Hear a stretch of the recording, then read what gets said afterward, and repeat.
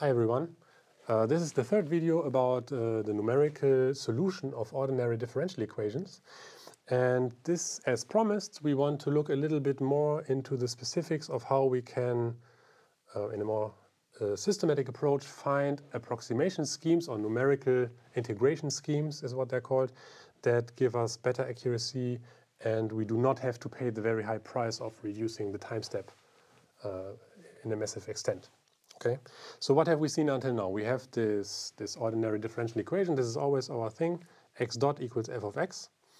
And we want to find a numerical solution to this. And what we have seen is, okay, we have the explicit Euler scheme, for instance, where we have a very simple update rule to given an initial step to predict the next state, x at t plus delta t. We have seen the implicit version of this, where we need to solve a linear or nonlinear system of equations to get the new update, which has the benefit that they tend to be much more stable. Um, but also we have to solve the system, which can be expensive.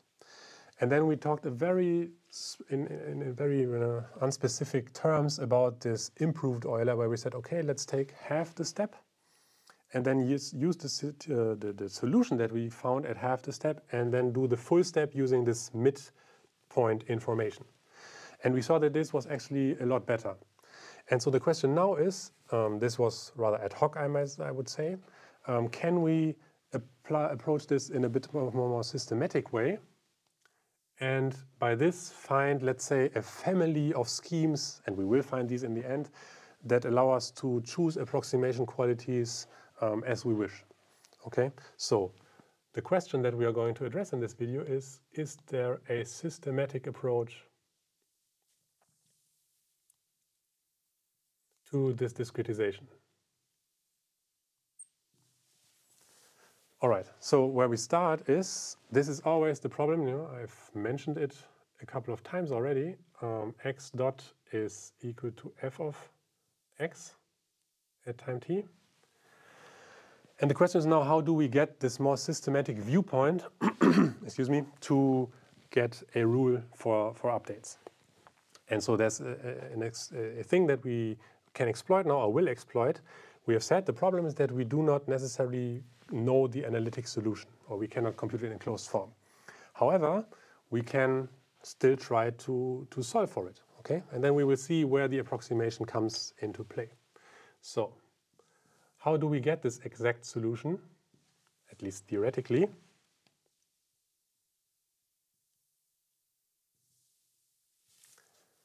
We integrate. Okay, integral over x dot gives me x, so this might be the solution. And then let's see how we can proceed from there. Okay, so let's compute the integral and then see what this gives us and then see how we can use this in a computer to find a numerical scheme. All right, so what I'm going to do is now I'm going to take the integral, let me emphasize this here, on both sides. And what this will give me is I get, well, let's write it down here, integral from t0 to our current time, because we're interested in the solution x at time t, x dot of, and now I need to change the name here of the time, right? This is the integral, and I'm doing the same step on the right-hand side, so this obviously does not change my solution, which is f of x of tau d tau. Okay, so here we have it. And this is something we I'm obviously allowed to do, right? If these are integrable functions, what I will get is I get here x, uh, the, the, the, the, integral of x dot gives me x.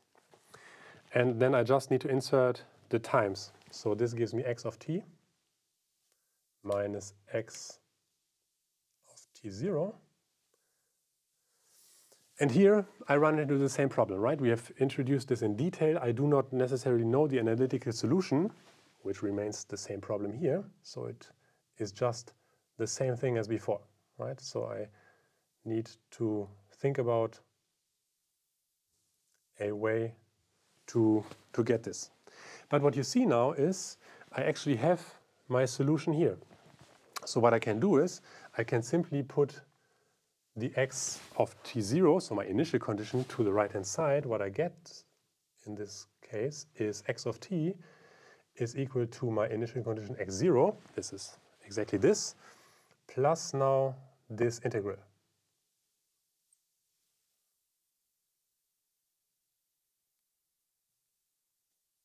d tau. Okay, and there you have it. I have a solution. Cannot necessarily compute it analytically, but still I have one, okay? So this is the initial condition. And now the question of deriving a numerical scheme is again the question of discretization. Before we asked ourselves, can we use finite differences for this one? Now we are asking ourselves, how do we discretize this term here? Okay, Can we find a numerical rule to find a solution for this in a computer? And so the discretization of this leads us to the family of quadrature rules. And these date back to Gauss, roughly 200 years, who was the first to study how to, given a finite number of function values, uh, approximate these integrals. And this is what you can study now. And if we take the family of these quadrature rules, we can actually, you know, using different rules, and we are going to study this now in, in this simple plot here, you can get approximations of different accuracies. So let's consider some of these quadrature rules.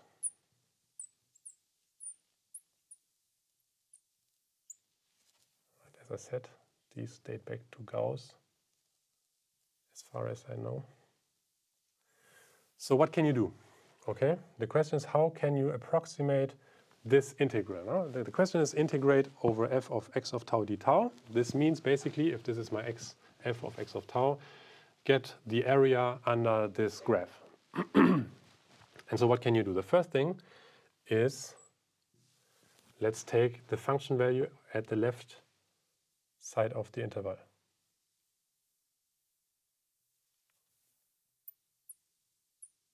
Okay, now this goes from t0 to t1. Here it was for arbitrary t, but if I insert t1 here, you see that this is precisely the situation.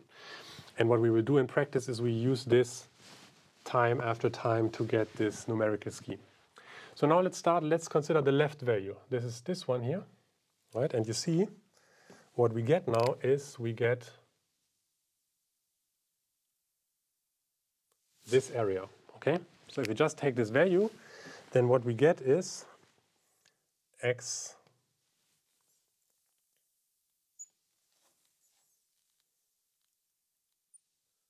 um, so the integral is approximately the width times the function value, right?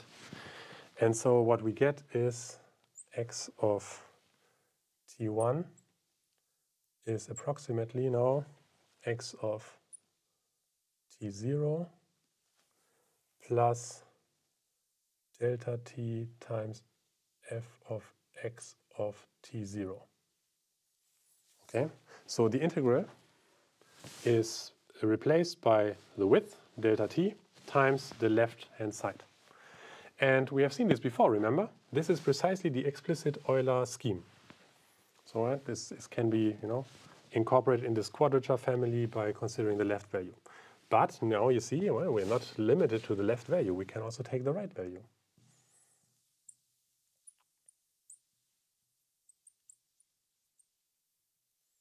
Okay, so now let's switch to another color. If I do this, then this is precisely this point, and the integral is approximated by this area. Okay, so and surprise, surprise, this will be the implicit Euler, right? x of t1 is given by, or in this, it's an approximation obviously, but if we take this rule, then what we get is x of t 0. Well, let's be consistent here. This is, if we take this rule, this is equality, how we use it, um, plus delta t times f of x of t1. Okay, so right-hand side, the integral becomes this area. And so you see, implicit and explicit Euler are just two ways of you know, solving this integral. What we have seen also is, uh, if you recall, this improved Euler, we said let's find an approximate value for this midpoint here. right? We use this um, for taking the explicit Euler set for half the width. And then what you would do is you would take this value and approximate the integral by the rectangle which is covered from top by this, this horizontal line. So you see this gives me a rather nice approximation because this part is overestimated, but this part is underestimated. And so this was the reason why this was actually much, much better. All right, so what we have seen now is, but I'm not going to write this down, this was the improved Euler. Um, well, this was all one point rules. But nobody's telling me that I am limited to these two points, right? So what I can do, I can, as a third rule, take both values.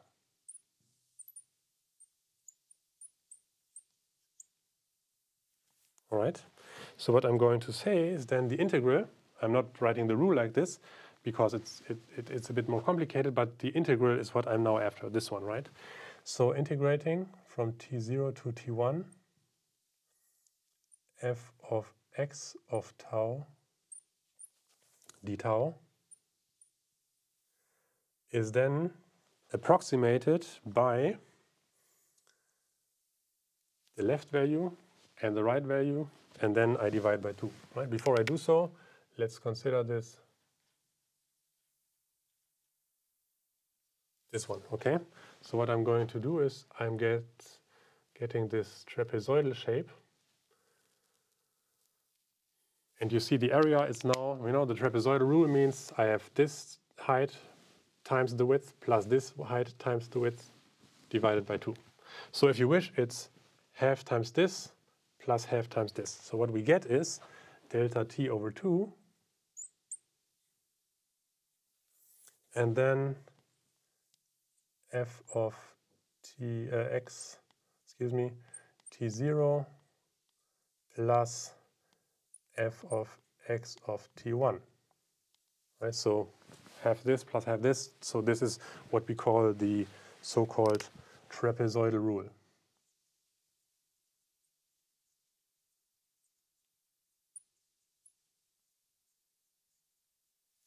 All right, so these are three examples. And what I have not told you until now that this is a whole family which has a name, right?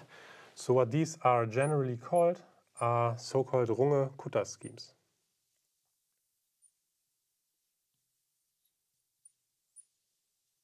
Named after two mathematicians who invented these types of schemes. And the idea is always the same. You take different points, right? You're not limited to two. We are also allowed to take points in the middle, you know, using intermediate steps and then use these. So we have these what we call quadrature points and use these to approximate the integrals. And so this uh, is the family of Runge-Kutta schemes. And so two comments before we close. There are implicit schemes. And there are also explicit schemes. This is what we've seen. Implicit if we take values only at the left that we know and then we progress forward. Implicit if we take values to the right that we have to implicitly compute. This was the case for 2 and 3 in these examples. And if we take more of these quadrature points,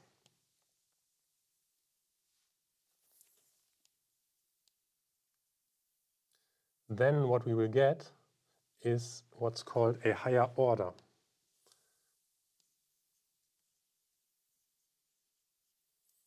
And the term order, I'm not going to define it formally here, but what it refers to is the fact that if I decrease the time step delta t, with which order does the error decrease?